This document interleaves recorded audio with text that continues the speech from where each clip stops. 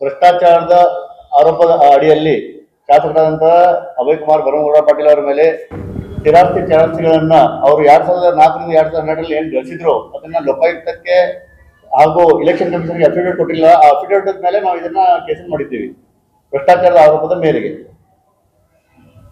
ಹಾಗಾಗಿ ಆ, ಇನ್ನು ಮುಂದೆ ಅವ್ರಿಗೆ ಭ್ರಷ್ಟಾಚಾರದ ಆರೋಪದಲ್ಲಿ ಇದೆಲ್ಲ ಇಷ್ಟೊಂದು ಅವ್ರದ್ದು ಸಿಕ್ಕಿದೆ. ಡಿಸ್ಪ್ರಪೋರ್ಷನಲ್ ಅಸೆಟ್ ಕಂಡು ಬಂದಿದೆ ಅಂತ ಹೇಳಿದ ನಂತರ ಸರ್ವೋಚ್ಚ ನ್ಯಾಯಾಲಯ ಅದನ್ನ ನೋಡ್ಕೊಂಡು ಅದನ್ನೀಗ ಅವ್ರ ಮೇಲೆ ಎಫ್ ಐ ಆರ್ ಮಾಡ್ಬೇಕಂತ ಹೇಳ್ಕೊಂಡು ಸುಪ್ರೀಂ ಕೋರ್ಟ್ನೇ ಲಿಬರ್ಟಿ ಕೊಟ್ಟಿದೆ. ಇವ್ರಿಗೆ ಕರ್ನಾಟಕ ರಾಜ್ಯಕ್ಕೆ ಹಾಗೂ ಲೋಕಾಯುಕ್ತಕ್ಕೆ ಸಂಸ್ಥೆಗೆ ಕೊಟ್ಟಿದೆ. ಹಾಗಾಗಿ ಮಾನ್ಯ ಲೋಕಾಯುಕ್ತರು ಹಾಗೂ ಲೋಕಾಯುಕ್ತ ಪೊಲೀಸರು ಕರ್ನಾಟಕ ಸರ್ಕಾರ ಇದರಲ್ಲಿ ಮಾಡಿದೆವು ಕೂಡ ಅಂತ ಹೇಳಿದ್ರೆ ಎಫ್ ಐ ಆರ್ ಈಗಾಗಲೇ ನಾವು ಬೆಳಗಾವಿಯಲ್ಲಿರುವಂತಹ ಲೋಕಾಯುಕ್ತ ಪೊಲೀಸ್ ಅಧೀಕ್ಷಕರಿಗೂ ಕೂಡ ಭೇಟಿದ್ದೇವೆ ಅವ್ರ ಗಮನಕ್ಕೂ ಕೂಡ ಇದನ್ನು ತಂದಿದ್ದೇವೆ. ಆದಷ್ಟು ಬೇಗ ಎಫ್ ಐ ಆರ್ ನಾವು ಮಾಡ್ತಾ ಇದ್ದೀವಿ ಅಂತ ತಿಳ್ಕೊಂಡು ಅವ್ರು ಹೇಳಿದ್ದಾರೆ ಈಗಾಗಲೇ ನಾವು ಕೂಡ ಬಂದಿದ್ದೀವಿ. ಕೆಲವೊಂದು ದಾಖಲಾತಿಗಳನ್ನ ಇನ್ನೊಂದು ಪ್ರೊಡ್ಯೂಸ್ ಮಾಡಬೇಕಿತ್ತು. ಹಾಗಾಗಿ ಆ ದಾಖಲಾತಿಗಳ ಸಮೇತ ಇವತ್ತು ಮಧ್ಯಾಹ್ನ ಮತ್ತೆ ನಾವು ಅದನ್ನ ಇನ್ಫಾರ್ಮೇಶನ್ ಅವ್ರಿಗೆಲ್ಲ ಕೊಡ್ತಾ ಇದ್ದೀವಿ. ಇನ್ನೊಂದು ಗಂಟೆಲಿ ಅದನ್ನು ಕೂಡ ಮಾಡ್ತೇವೆ. ಯಾಕಂದ್ರೆ ನಾವೆಲ್ಲ ಪ್ರೆಸ್ಗೆ ಎಲ್ಲ ತಮ್ಮ ಒಂದು ಗಂಟೆಗೆ ವೇಳೆ ಕೊಟ್ಟಿದ್ದ ಕಾರಣ ಇದು ಬರಬೇಕಾಯ್ತು. ಇನ್ನೊಂದು ನಮ್ದು ಇದು ಪ್ರೆಸ್ ಮೂಮೆಂಟ್ ಮುಗಿದ ನಂತರ ನಾವು ಅಲ್ಲಿ ಹೋಗಿ ಇದನ್ನು ಕೂಡ ಮಿಕ್ಕ ದಾಖಲಾತಿಗಳನ್ನು ಕೂಡ ಮಾನ್ಯ ಪೊಲೀಸ್ ಅಧೀಕ್ಷಕರು, ಲೋಕಾಯುಕ್ತ ಅವ್ರಿಗೆ ಇವತ್ತಿನ ಬೆಳಗಾವಿ ಅವ್ರಿಗೆ ಕೊಡ್ತಾ ಇದ್ದೇವೆ. ಅದ್ರ ರಿಸೀವ್ಡ್ ಕಾಪಿ ಕೂಡ ತಮಗೆಲ್ಲ ನಾವು ಇದರಲ್ಲಿ ಕೂಡ ಕೊಡ್ತೀವಿ. ವಾಟ್ಸ್ಆಪ್ ಅಲ್ಲಿ ನಮ್ಮೆಲ್ಲರಿಗೂ ಕೊಡ್ತೀವಿ. ತಂದು ಮೀಡಿಯಾದಲ್ಲಿ ಕೂಡ ಕೊಡ್ತೀವಿ. ಸಾಫ್ಟ್ ಕಾಪಿನ ಮತ್ತೀಗ ಹಾರ್ಡ್ ಕಾಪಿಯಲ್ಲಿ ಏನು ಸುಪ್ರೀಂ ಕೋರ್ಟ್ ಆದೇಶ ಇದೆ ಹಾಗೂ ಇಲ್ಲಿ ಅಫಿಡವಿಟ್ ಇದು ಕೊಟ್ಟಿದ್ದಾರೆ. ಕರ್ನಾಟಕ ಲೋಕಾಯುಕ್ತ ಪಿ ಸಿ ಅವರು, ಮಾನ್ಯ ಸರ್ವೋಚ್ಚ ಸರ್ವೋಚ್ಚ ನ್ಯಾಯಾಲಯಕ್ಕೆ ಕೊಟ್ಟಂತಹ ಅಫಿಡವಿಟ್ ಕಾಪಿ ಕೂಡ ಅದನ್ನ ನಾವು ಈಗಾಗಲೇ ತಾವು ಕೊಟ್ಟಿದ್ದೇವೆ. ಈಗಾಗಲೇ ಕೊಟ್ಟಿದ್ದೇವೆ ಹಾಗಾಗಿ ಇದನ್ನ ಆ, ಇದೆಲ್ಲ ಈಗ ಸರ್ಕಾರ ಹೇಳ್ತಾ ಇದೆ ಭ್ರಷ್ಟಾಚಾರದ ಬಗ್ಗೆ ಸರ್ಕಾರದ ಅಥವಾ ಪರ ವಿರೋಧಗಳು ತುಂಬಾ ನಡೆದಿದೆ. ನನ್ನ ಹೋರಾಟ ಹನ್ನೆರಡು ವರ್ಷದ ಆದ್ರೂ ಕೂಡ ಇವತ್ತಿನವರೆಗೆ ನನಗೆ ನ್ಯಾಯ ಸಿಗಲಿಲ್ಲ. ಯಾಕಂದ್ರೆ ಇವತ್ತಿನ ದಿವಸಕ್ಕೆಲ್ಲ ನಮ್ಮ ಮಾಧ್ಯಮ ಮಿತ್ರರಿಂದ ಸ್ವಲ್ಪ ಏನಾದ್ರೂ ನನಗೆ ಇವತ್ತಿಂದ ಮಾತಾಡುವಂತ ಒಂದು ಅವಕಾಶ ಸಿಕ್ಕಿದೆ ಅಂತ ಹೇಳ್ಬೋದು. ತಮ್ಮಂತ ನನಗೆ ಒಂದು ಸಾಮಾಜಿಕ ಕಾರ್ಯಕರ್ತನಿಗೆ ಹೋರಾಟ ಮಾಡುವಂತ ಶಕ್ತಿ ತುಂಬಿದೆ ತಾವೆಲ್ಲ. ಹಾಗಾಗಿ ಇವತ್ತಿನ ದಿವಸ ಹನ್ನೆರಡು ವರ್ಷ ಇವತ್ತು ಹೋರಾಟ ಆದ ನಂತರ ಇವತ್ತು ನನಗೆ ಮಾನ್ಯ ಉಚ್ಚ ನ್ಯಾಯಾಲಯದಲ್ಲಿ ಹಿನ್ನಡೆ ಆದರೂ ಕೂಡ ಸರ್ವೋಚ್ಚ ನ್ಯಾಯಾಲಯದಲ್ಲಿ ಸಂಪೂರ್ಣ ಎಲ್ಲರಿಗೂ ಕೂಡ ಇದು ನ್ಯಾಯ ಸಿಗುವಂತಹ ಒಂದು ಅದ್ಭುತವಾದಂತಹ ನಿರ್ಣಯ, ಆದೇಶ ಸರ್ವೋಚ್ಚ ನ್ಯಾಯಾಲಯದಿಂದ ಹೊರಗೆ ಬಿದ್ದಿದೆ ಅಂತ ಹೇಳಿ ಇಚ್ಛೆ ಪಡ್ತಾ ಇದ್ದೀನಿ. ಹೌದು, ಸರ್ಕಾರಕ್ಕೆ ಸರ್ಕಾರಕ್ಕೆ ಹೇಳಿದೆ. ಈಗ ನಿಮ್ಮ ಟೆಕ್ನಿಕಲ್ ಏನಿದೆ ನಾನು ಹೇಳ್ತೀನಿ. ಈಗ ಸುಪ್ರೀಂ ಕೋರ್ಟ್ದಲ್ಲಿ ಆರ್ಡರ್ ಏನಾಗಿತ್ತು ಅಂತಂದ್ರೆ ಕರ್ನಾಟಕ ಲೋಕಾಯುಕ್ತದವರು ಅಲ್ಲಿ ಅಫಿಡವಿಟ್ ಫೈಲ್ ಮಾಡಿದ್ರೆ ಅಫಿಡವಿಟ್ ಕಾಪಿ ಕೊಟ್ಟಿದ್ದೀವಿ. ಅದರಲ್ಲಿ ಎಲ್ಲ ವಿವರಣೆ ಇದೆ. What has happen from two thousand twelve ರಿಂದ ಇನ್ನೂವರೆಗೆ ಏನು ಇನ್ವೆಸ್ಟಿಗೇಷನ್ ಮಾಡಿದ್ದಾರೆ, ಆ ಇನ್ವೆಸ್ಟಿಗೇಷನ್ ಹೊರತು ಏನು ರಿಸಲ್ಟ್ ಬಂದಿದೆ ಅಂತ ಹೇಳಿ ಅದರಲ್ಲಿ ಎಲ್ಲ ವಿವರಣೆ ಇದೆ.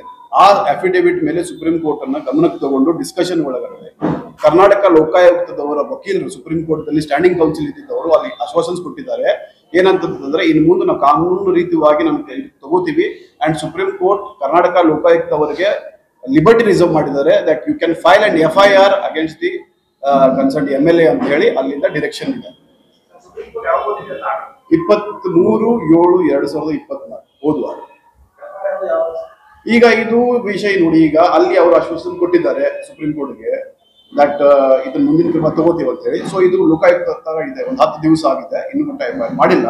ಸೊ ಅವ್ರು ಅವರ ಪ್ರೆಸೆನ್ಸ್ನಲ್ಲಿ ಇದ್ದಾರೆ ಆದ್ರೆ ನಾವು ಒಂದು ನಮ್ಮ ಕಡೆ ಏನ್ ದಾಖಲಾತಿ ಇವೆಲ್ಲ ಇದಾವೆ ಸುಯಿತ್ ಮುಳುಗುಂದ್ ಅವ್ರ ಕಡೆಯಿಂದ ನಾವು ಅದು ಲೋಕಾಯುಕ್ತ ಅವರಿಗೆ ಒಂದು ಇನ್ಫಾರ್ಮೇಶನ್ ಮತ್ತು ಅದೆಲ್ಲ ದಾಖಲಾತಿಗಳನ್ನ ಕೊಡ್ತೀವಿ.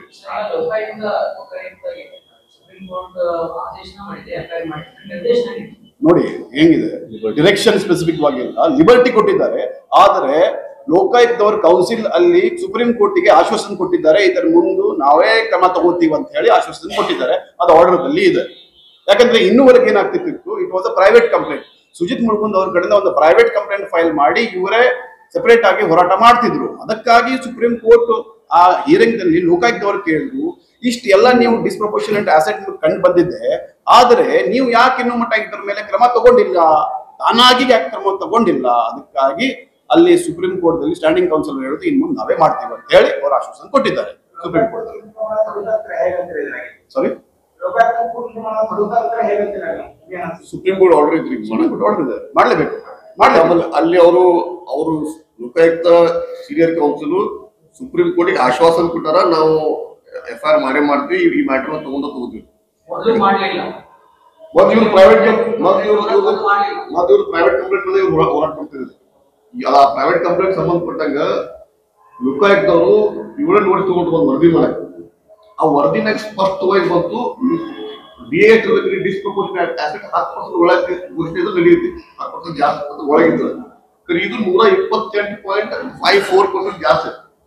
ಇಟ್ ಇಸ್ ಕಂಪ್ಲೀಟ್ಲಿ ಅದಕ್ಕೆ ಆ ವರದಿ ಸುಪ್ರೀಂ ಕೋರ್ಟ್ ನೋಡ್ಕೊಂಡು ಇವರವರು ಸಾಮಾಜಿಕ ಕಾರ್ಯಕರ್ತರು ಇವರು ವೈಯಕ್ತಿಕವಾಗಿ ಹೋರಾಟ ಮಾಡೋದ್ರ ಲೋಕಾಯುಕ್ತಿಗೆ ಏನಾಗೈತಿ? ಅವ್ರ್ಯಾಕೆ ಮಾಡಬಾರ್ದು?